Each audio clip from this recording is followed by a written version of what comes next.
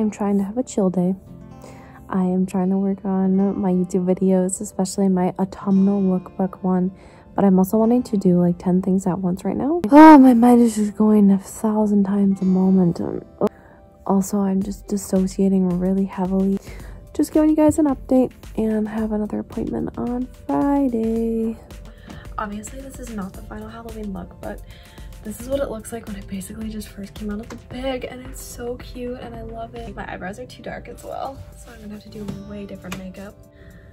But I am absolutely adoring this wig so far. It is so cute. Today is covered in mist all over the place or fog. Just kind of matches my mood. So I feel myself starting to come out of that hypomanic state.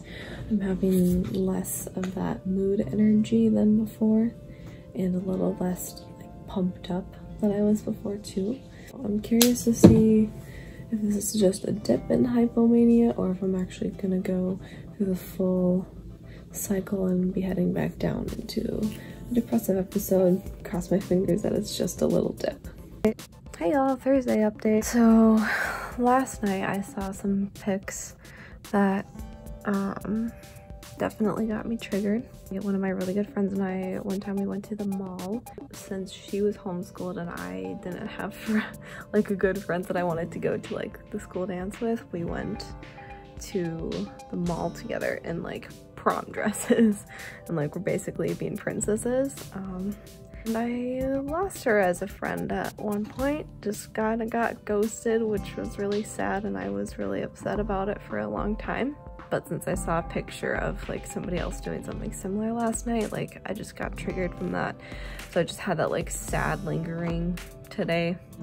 I wanted to cry pretty easily about stuff um, and also just some like bad memories were then able to make it more towards the surface because of it dissociated throughout most of the day so that was always a fun time just being like shifted slightly out of yourself.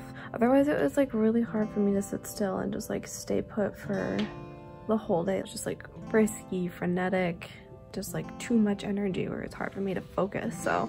I'm just glad we got through it and uh, got home and gonna go open my package. Wrote everything down on a little sticky note for my reference so when I can have my appointment tomorrow, then I can make sure that I address everything. Look who's getting better at finding ways to try not to forget stuff. Ooh. Uh, we started opening this because um, thought it was something else, but I think it's finally here. I'm so excited.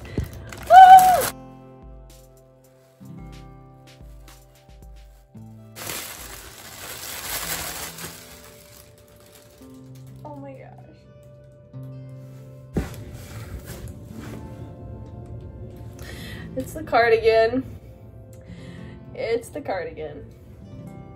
I literally had this song stuck in my head all day long and I was having such a rough day.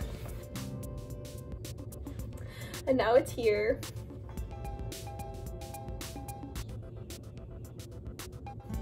These are happy and sad tears, like at the same time. Nostalgia, oh, it's perfect.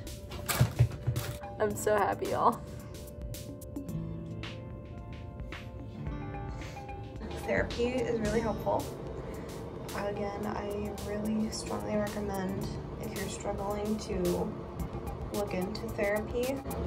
Um, she really helped me process what had been triggering me lately. Again, my one of my good friends ghosting me a while back, but I almost cried because it was that like that relieving to go through.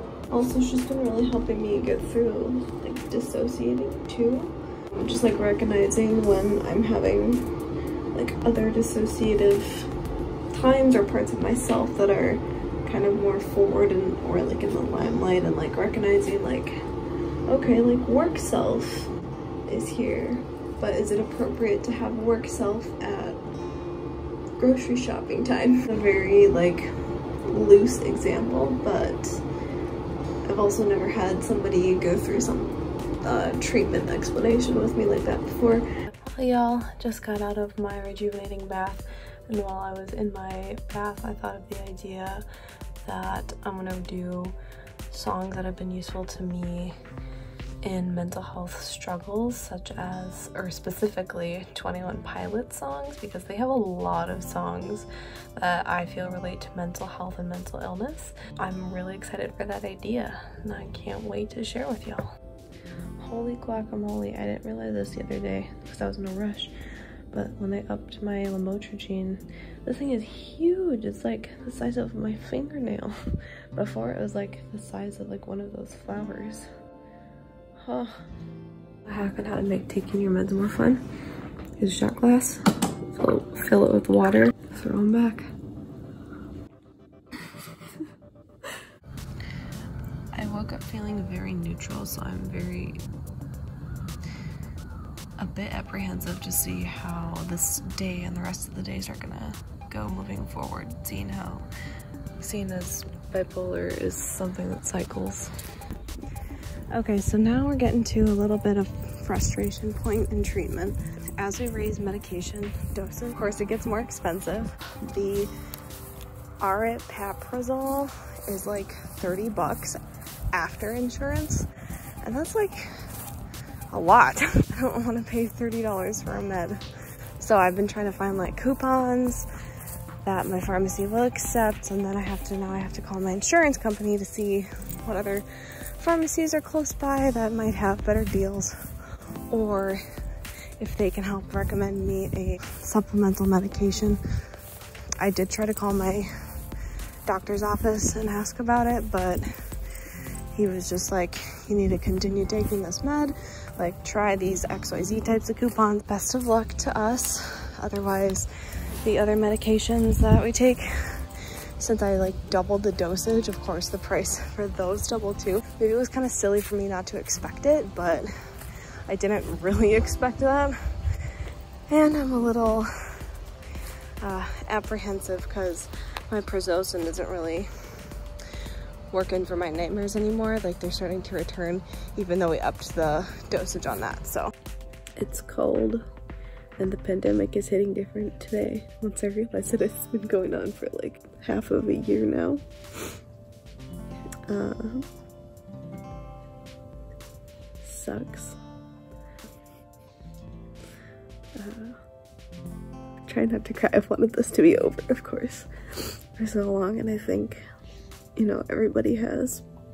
Today it's just, it's hitting harder. Stay safe, mask up, keep your distances, unfortunately.